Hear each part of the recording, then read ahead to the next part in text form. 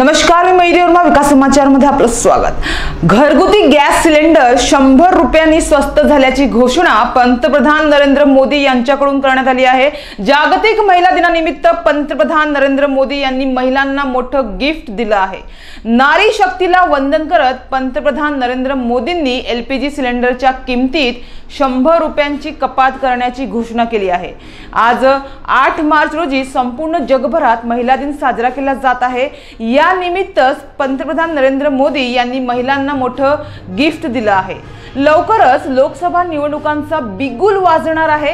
त्या पार्श्वभूमीवरच मोदी सरकारनं ही खेळी खेळली आहे.